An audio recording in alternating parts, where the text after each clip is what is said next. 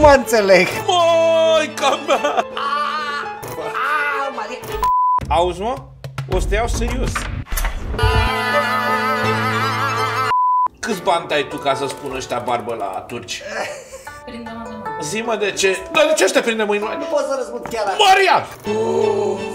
Bă, cu ce mi sfunduleți? Ție zice mi Păi sfunduleți. ei logic mi-ai văzut mie fundul Lețu? Băi, nu spune, mă, șipcă când te tunzi, nu spune șipcă la frizer? Ce e aia șipcă? Sub curuleț!